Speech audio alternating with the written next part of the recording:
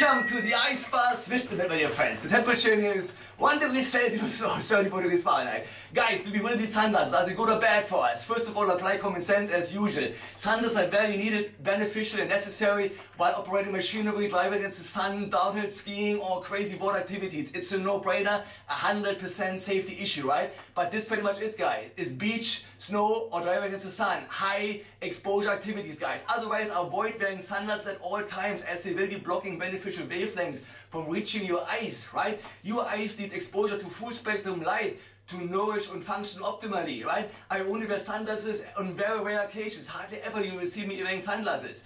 Have you ever seen any animals wearing sunnies? No, never. Wearing sun is actually the last thing you do for your vision health, as they will be blocking beneficial and healing wavelengths of light that you need to nourish your eyes, guys. Please like and share. Please like and share, guys. Comment, give me a smile. Peace out. I love you guys.